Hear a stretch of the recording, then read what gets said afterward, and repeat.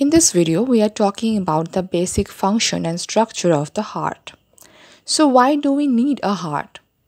We need a heart to throw the carbon dioxide out of the body and to send oxygen to all the cells of the body.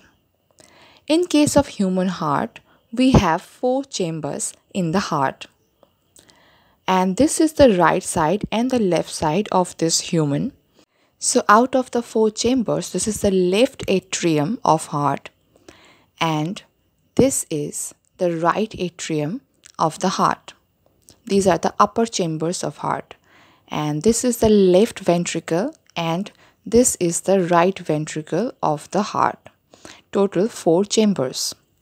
So now blood brings the carbon dioxide from all the cells of the body towards the heart.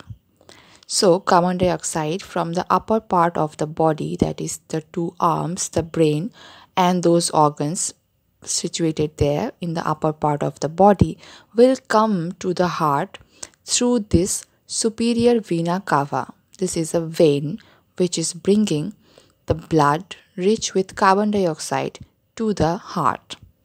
And the carbon dioxide rich blood from the lower part of the body, such as the lower limbs and the organs, will come to the heart through this vein called inferior vena cava. Both of the veins will bring the carbon dioxide rich blood to the heart chamber called right atrium. From the right atrium, that carbon dioxide rich blood will reach the right ventricle. And now, this right ventricle has to send this carbon dioxide rich blood to the lungs so that the carbon dioxide in the blood can go out of the body through the lungs. So now the heart will send the carbon dioxide rich blood to both the lungs. So these are entering the lungs and delivering the carbon dioxide rich blood to the lungs. The lungs have these kind of alveoli which are basically the air sacs. Inside the air sacs, the exchange of carbon dioxide and oxygen occurs. So the arteries bringing the carbon dioxide rich blood will break down into capillaries and the capillaries will surround the alveoli. The walls of the capillaries are very thin so they can allow the exchange of gases. Now let's zoom into this one alveolus of the alveoli. So the wall of the alveolus is also very thin and only one cell thick.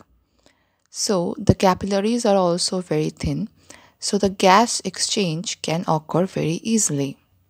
So this is the capillary.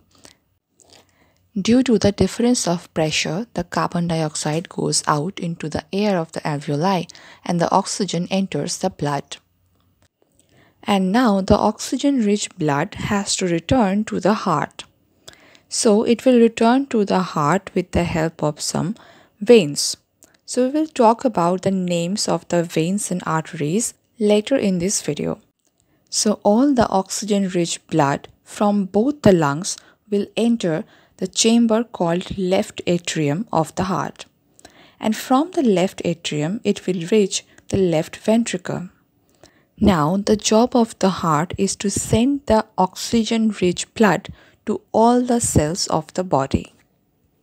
So now the left ventricle will contract and pump the blood through a big aorta towards the cells of the body.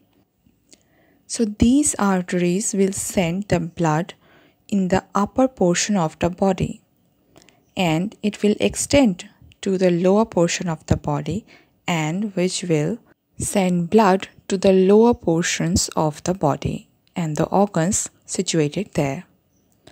So now we have to learn the names of the arteries and the veins. Now I'm drawing the heart again which is a four chambered organ. It has basically four chambers, the upper two chambers and the lower two chambers and it is surrounded by the two lungs of our body. the left and the right lungs. So this upper chamber of the heart is the left atrium and this is the left ventricle of the heart. And the other upper chamber is the right atrium and the lower chamber is the right ventricle.